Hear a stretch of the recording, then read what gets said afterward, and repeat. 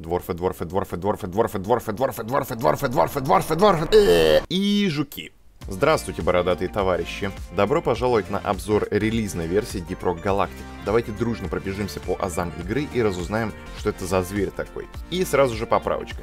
Это видео предназначено для людей, которым Deep Rock ни разу не попадался на глаза за годы разработки, и им не довелось поиграть в предрелизную версию, и хотелось бы узнать, что игра вообще из себя представляет. Итак, поплыли. Э, в смысле, покопали. Deep Rock Galactic — это кооперативный шутер про четверку бравых дворфов-шахтеров, что самозабвенно во имя процветания жадной до ресурсов компании отправляются в недра не самой дружелюбной планеты под названием Hoxus 4 для добычи тех самых ценных ресурсов. Однако простые в теории шахтерские миссии оборачиваются настоящим кошмаром для любого, кто рискнул посягнуть на богатство планеты. Веселуха в том, что шахтеров в пещерах поджидают сотни и тысячи обитателей планеты, а именно разнообразные жучки и таракашки, что готовы в любую секунду оторвать дворфам жопы вместе с их бородатыми мордами. Сразу стоит отметить, что пещеры генерируются случайным образом, и одинаковых вы не встретите, скажем, никогда, никогда, никогда, никогда! За исключением редких моментов, когда генератор создает похожие сегменты. Но чаще всего каждая пещера уникальна по своему строению. И важный аспект игры. Абсолютно каждый миллиметр пещеры можно разрушить. Естественно, есть граница, что сделано из, э, скажем так, бедрока, дальше которого вы не уползете, но в такие дали залезать в целом нет надобности. Так что перемещение по пещерам не ограничивается удобными проходами, что для вас любезно склеил генератор, вы сами вольны прокладывать дорогу куда угодно. Итак, погнали по пунктам. Персонажи. Обозначим, что за бойцы предоставлены игрокам и что за враги им противостоят. В игре 4 класса. Бурильщик, пулеметчик, инженер и разведчик. Каждый класс уникален и орудует определенным количеством убойных пушек и гаджетов. Чуть-чуть о каждом. Бурильщик. Имя говорит само за себя. Его основной инструмент — это пара здоровенных ручных буров, с помощью которых бородатый терраформер может издеваться над местной земелюшкой и разрыхлять любую породу наряду с мордами местных жуков. Из оружия таскает либо увесистый и убойный огнемет для прожарки жучиных тушек, либо ручной морозильник, от которого любой жучок превращается в симпатичную ледяную статую, которая может развалиться от любого плевка в ее сторону. В запаске бурильщик носит простой пивпав пистолетик, либо хитромудрый плазмоган. Также умеет кидаться топорами и подрывать жопки тараканам с помощью С4. Еба! Второй член команды — пулеметчик. Это закадычный любитель больших и тяжелых пушек, что плюются свинцом с безумной скоростью. У пулеметчика имя тоже говорящее. Сразу сходу в любой ситуации он расчехляет свое большое стреляло и уничтожает все живое в зоне поражения пушки. Ну а если скорострельный пулемет вам надоел, можно взять автопушку со снарядами будто от танка и стрелять редко и не очень метко, зато задевать жменьку врагов за один выстрел. За пазухой пулеметчик таскает мощный револьвер, стрельба из которого ведет к тотальной аннигиляции врага любого размера. Никому не понравится принимать дозу свинца из этого ручного монстра. Я шепну тебе на ушко. Аннигиляторная пушка! А в качестве альтернативы револьверу пулеметчик может брать пистолет серийного огня, который Инструменты пулеметчика позволяют прикрывать своих союзников энергетическим щитом, что в некоторых ситуациях незаменим и спасет ваши города не один раз. Ну а если нужно пересечь пропасть или подняться повыше, пулеметчик расчехляет тросомет, на котором можно комфортно доехать до точки назначения. Тебе надо дома такой же зиплайн от, от кровати до холодильника поставить. Кажется, ты гений. Третий член команды — инженер. Это типичный любитель механизмов, что строит турельки для помощи команде в локальной обороне, орудует великолепным автоматическим дробовичком, кидается всякими минами и голограммами для отвлечения внимания жучков. Для помощи команде инженер создает удобные надувные платформы, по которым можно ловко забираться в самые заковыристые уголки пещеры. Так что инженер может и домик построить, и мост возвести, и лестницу организовать. В общем, товарищ очень полезный. А насчет его огневой мощи, помимо дробовика, инженер может таскать электрический пистолет-пулемет, убойный гранатомет или плазменный резак, что сбривает панцирь жучкам на раз-два. Ну и последний по списку, но не по важности дворф, разведчик. Этот товарищ служит основным источником света во время пещерных экспедиций, где обычно вас окружает давящая темнота. Обычные фальшфейеры может кидать любой дворф, чтобы хоть как-то бороться с темнотой, а вот разведчик кидается мощными осветительными факелами, силы которых хватает, чтобы осветить обширную зону пещеры, но, к сожалению, ненадолго. Самое главное преимущество разведчика — это его бэтменский девайс. А именно крюк-кошка. С его помощью разведчик носится по всей карте с грацией картошки, за исключением моментов, когда инженер не очень метко поставил платформу на стену, и полетевший туда разведчик в итоге окажется расквашенной жишкой на полу. Но это дело практики. Из оружия разведчик использует сбалансированный автомат или меткое полуснайперское ружье. За спиной держит волшебную бум-палку, с помощью которой сносит морды охапки жуков, что рискнули подойти слишком близко. Ну либо хватает в руки две ППшки и как true гэнгста стреляет в разные стороны, задевая всех, включая своих союзников. Ну и естественно, этим арсенал не ограничивается. Его волшебные гранаты могут замедлять или замораживать врагов, ну и на крайняк можно кидаться жучиной с саниной, заставляя инсектоидов мериться письками и грызть морды друг другу. Итак, с командой пещерных барсунов разобрались. Теперь посмотрим, что за твари им противостоят.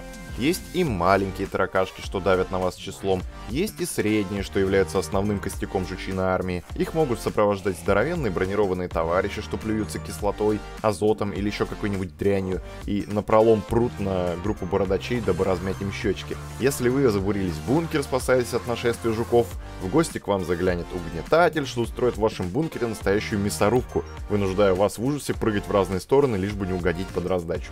На стенах вас поджидают плеваки, что могут паутина вам перегородить обзор и до кучи замедлить, облегчая своим собратьям процесс изнасилования бедного дворфа. До кучи присутствуют жуки-суицидники, что подбегают поближе и нарушают личное пространство зычным бабахом. Но у нас тут есть не только ползучие, но и летучие пакостники. Чайки жирные, летают и не спешат. Есть и мухи-бомбардиры, что заливают вас вязкой жижей. Есть комары, что лезут обниматься и утаскивают вас в дальний уголок пещеры, где творят с вами всякие непристойные дела. Покажи, где он тебя трогал. Вот тут или вот тут? Хватит меня трогать. Ой, однако это лишь малая доза всей жести, что валится вам на голову. В игре присутствуют и более крупные представители пещерной фауны, а именно родственнички маленьких любителей взрываться в неположенных местах, гигантские детонаторы. Эти увесистые товарищи медленно ползут через любые преграды, лишь бы добраться до вашей группы и растоптать вас всех в кашу. Однако простое уничтожение этого бубенца заканчивается не обычным падением замертво, а здоровенным взрывом, что раскурочивает огромную часть грунта в пределах зоны поражения. Ну и естественно лучше в этот момент рядом не стоять, а то рискуете полирнуть землю своим пивным пузом. Бывают еще товарищи дредноуты, по сути самые опасные представители рядов защитников планетарной минеральной казны. Эти душки неуязвимы, окромя их увесистой задницы, которые дредноуты периодически покрывают довольно толстой броней, и борьба с таким растягивается обычно на несколько минут и требует участия всей команды. Он будет не только пытаться вас укусить в ближнем бою, он может обливать невезучего дворфа феромонами, фокусируя внимание жучков на нем, умеет плеваться здоровенными фаерболами и делать муда-муда по земле, задевая всех в большом радиусе. Страшный гад, одним словом. Ох, и вишенка на торте. Не только фауна Хоксаса хочет вас уничтожить. Флора тут такая же недружелюбная. Есть и шипастые редиски, что дырявят вам ботинки, если не смотрите под ноги, конечно. Повсюду растут плюющиеся кактусы, на потолке вас ждет хентайная тентакля, что вас утащит и будет ребра щекотать, пока товарищи вас не спасут. Покоя вам не дадут стационарные плеваки, что харкаются шариками с кислотой с большого расстояния. Радости доставляют взрывающиеся кусты, ядовитые грибы, радиоактивные камни и прочее, и прочее. Не думайте, что в пещерах вам будет легко. 99% всего окружения хочет вас убить. За исключением вот этих вот пупсиков. Но вы не всегда торчите в пещерных просеках недружелюбной планеты. Любая вылазка начинается на космической станции, где вы проводите время между миссиями. Тут стоят полезные терминалы, где можно улучшать экипировку, кастомизировать свой шикарный блохастый мешок на морде, ну, в смысле бороду, слушать диск в джукбоксе и дрыгать тучными телесами под задорный ритм, беспросветно бухать в местном баре и мусорить кружками по всей космической станции, выслушивать жалобы руководства, играя в мини-игры. Stop it! И перекалибровывая гравитацию и занимаясь прочей непотребщиной. Но когда время для развлечений заканчивается, нужно собирать яйца в кулак и выдвигаться на миссию.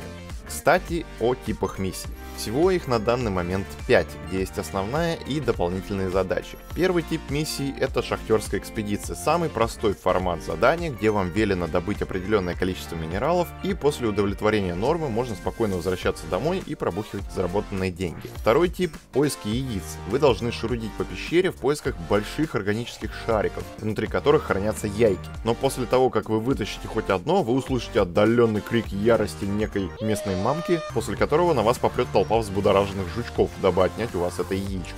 Третий тип миссий – вывоз материалов. В середине большой пещеры вас ожига... Э, в середине большой пещеры вас ожидает дробилка, в которую нужно сгрузить несколько синих минералов, распиханных вокруг. Однако каждые несколько минут вас ожидает волна жучков, и чем дольше вы копошитесь, тем больше и сложнее будут волны. Четвертый тип – это охота на дредноутов. В недрах планеты вы находите большие пульсирующие коконы, разбив которые вы навлечете на себя гнев бронированных дредноутов. Как я и говорил ранее, потребуется общее усилие всей команды, чтобы уложить этих здоровяков. Ну и как вы убьете несколько этих бугаев на миссии, вы можете вернуться назад. И пятый тип миссии — это спасательная операция. Вы отправляетесь в локацию, где погибли ваши бывшие товарищи дворфы, чтобы вернуть минимум улов, наладить координаты и заправить утерянную десантную капсулу, после чего на ней же улететь домой.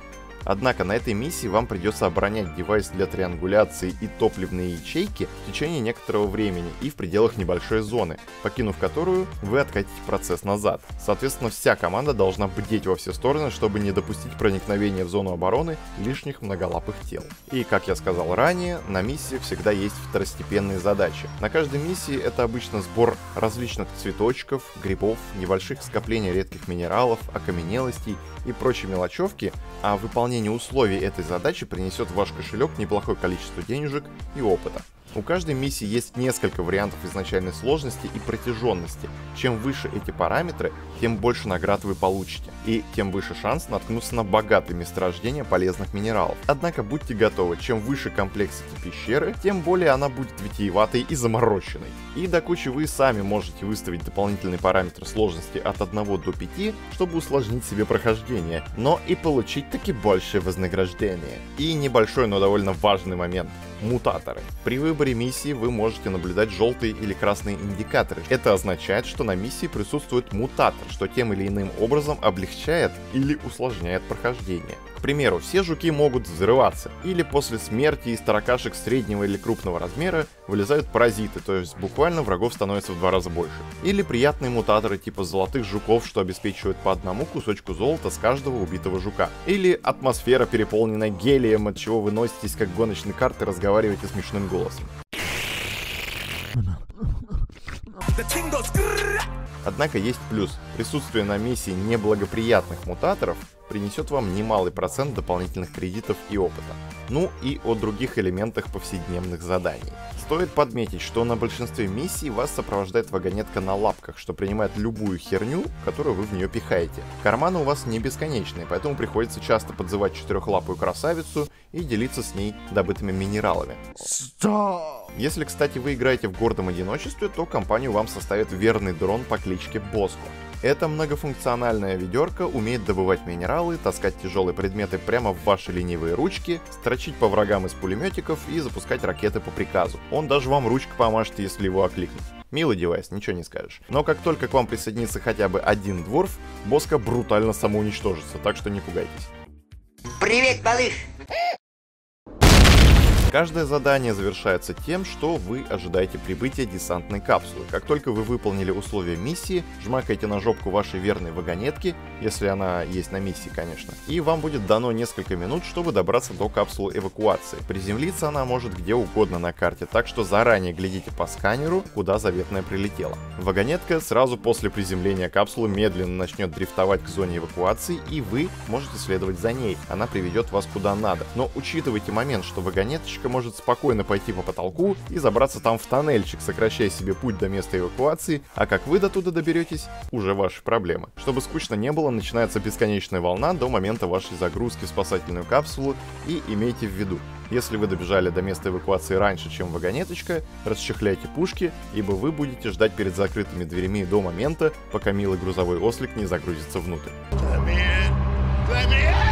Так, с миссиями и принципом действия на них разобрались. Теперь изучим регионы планеты. Всего на данный момент регионов 8, но разработчиками было обещано добавить еще несколько биомов в будущих обновлениях. Регионы планеты отличаются строением пещер, местной флорой и всяческими природными ивентами, что происходит во время миссии. Как, например, в магматическом ядре время от времени начинается землетрясение, раскалывающее пещеру на куски, любой взрыв оставляет лужу раскаленного грунта, по которому не очень приятно ходить, и до кучи везде распиханы активно полыхающие лавовые гейзеры, обеспечивающие модную стрижку для бороды всем, кто подошел слишком близко. Эм, Есть биомы, где все усыпано пестрящей растительностью, и строение пещеры будет более слоистое. Вокруг вы обнаружите опасные кактусы, что плюются шипами, или злые луковички с иголками. До кучи будут идти дожди, ухудшающие видимость. Также эта зона благополучна для развития мелких жучков, и тут можно напороться на поляну из яиц. И стоит тронуть только одно, начнется цепная реакция, и вся полянка преждевременно вылезет из коконов грызть вам жопы. Но не буду расписывать подробную информацию про каждый биом, скажу только то, что абсолютно все регионы планеты уникальны, как флорой, так и фауной. Ибо только в определенных регионах вы встретите характерных только для этой биомы животинок. Теперь рассмотрим крафт и улучшения. Итак, минералы. На всех пещерных вылазках вы будете натыкаться на огромное количество полезных минералов, и каждый для чего-то да нужен. Основной ресурс для выживания это нитро. Кратко говоря, это ваши боеприпасы. Набираете 80 единиц в командный депозитарий и можете вызвать капсулу снабжения, чтобы вся команда могла восстановить себе долю недостающего боеприпаса. Золото отвечает за местную валюту, которая нужна практически для любой покупки. Красный светящийся сахар может пополнить вам здоровье в самых неожиданных ситуациях. Также вы будете находить всякие растения для пива. Во всех биомах растет 4 вида цветочков, собирая которые вы можете сперва разблокировать лицензию для пива в баре, а далее за меньшие ресурсы покупать это пиво в любом количестве, пока все запасы хмельных корешков не израсходуете. Пиво, в свою очередь, может дать вам приятные бонусы для следующей миссии, либо просто позволяет повеселиться в лобби, пробуя на вкус различные настойки, употребление которых приводит к самым неожиданным эффектам.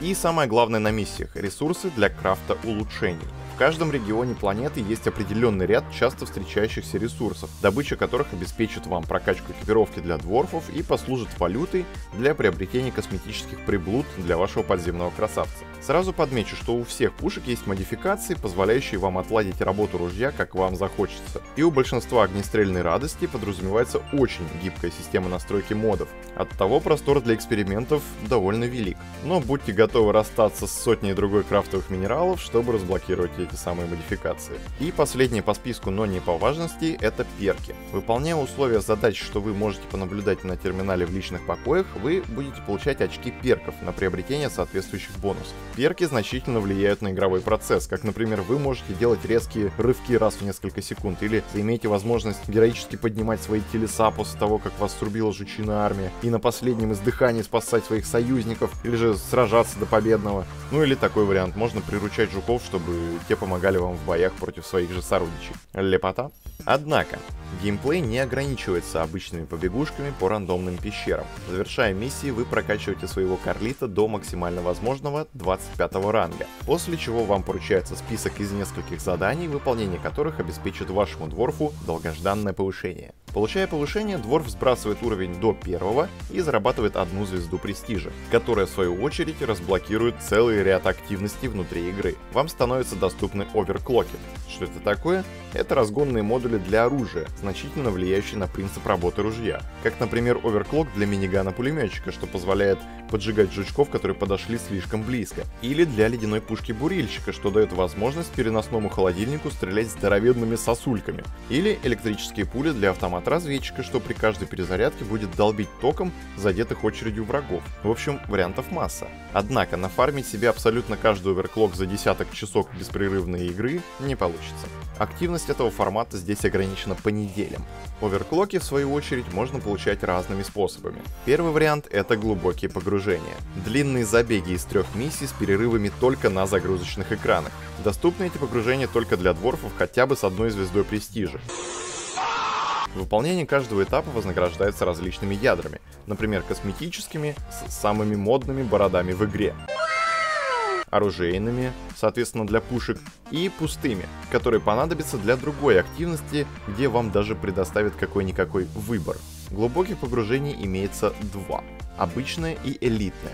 Награды в обоих случаях разные, но будьте готовы, что на элитном погружении жучиная армия может вас с легкостью поубивать, если вы не очень слаженно действуете со своей командой. И насчет ограничения по времени, глубокие погружения можно выполнить всего лишь один раз в неделю. Соответственно, выформить все косметические финтифлюшки и оружейные модули за пару недель просто не получится. А фармить придется долго, игре есть что предложить. Второй вариант добычи оверклоков — это еженедельные поручения. На терминале поручения вы можете принять задание, к примеру, для добычи дополнительных ресурсов для крафта и кредитов, или деталей для своей верной кирки, или же для охоты за ядрами. Выполнение охоты за ядрами также обеспечит вас тремя ядрами, как косметическими, так и оружейными и, естественно, пустыми. А пустые ядра нужны для следующего. Эвенты в течение обычных миссий. С определенным шансом выполняя обычную миссию, вы можете наткнуться на волшебный механизм, который активировать может только тот дворф, в наличии которого есть хотя бы одна звезда престижа. Не очень продвинутые карлики включить машину просто не смогут.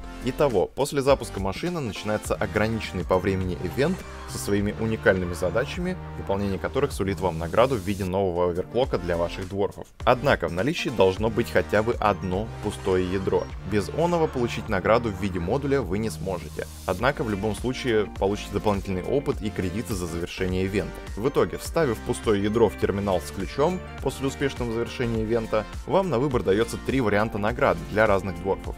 Один вариант косметики и два варианта оружейных. Советую в первую очередь собирать оружейные модули, а уже потом красоту наводить, но тут на ваше усмотрение. Так, вроде по основным аспектам игры пробежался, и надеюсь вам более-менее стало понятно, что из себя игра представляет. Сразу подмечу, что кооператив это очень важный элемент игры. Вы можете понтоваться и делать все, пытаться в одиночку, но стоит вам попасть в окружение толпы жуков или в цепки лавки потолочных тентаклей, вы гарантированно приляжете и будете ожидать воскрешения. Так что совет, оставайтесь с командой и выполняйте свою роль. Вклад каждого игрока ощутим. Разделяться и умирать не самая хорошая идея. Итого, напоследок хочу сказать, что у игры шикарный саундтрек в стиле Synthwave. В перерывах между боями играет красивый грузный эмбиент с пиликающими синтезаторами в перемешку с отдаленными рыками местных обитателей, а во время замеса начинается бодрый музон с эффектными битами, придающий происходящему дополнительную дозу драйва. И теперь о главном. Сикока это все стоит.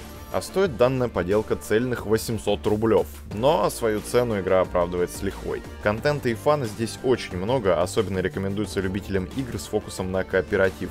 А если еще и друзей в игру затащите, то хорошие воспоминания вам обеспечены. Итак, думаю, что вы посмотрели не один обзор на эту игру и не два, но я решил вбросить свои 5 копеек. Обзор на версию игры в раннем доступе я делал аж целый год назад. С тех пор я наиграл почти 900 часов и много чего про игру могу рассказать. Если вы новичок в Дипроке, подписывайтесь на мой канал, ибо я с определенной периодичностью делаю видосики по э, разным элементам этой игры. Может, чего нового для себя вычлените. В заключение могу сказать лишь одно. Присоединяйтесь к ежедневным пещерным похождениям тысяч дворфов по всему миру вам обязательно понравится. Rock and Stone.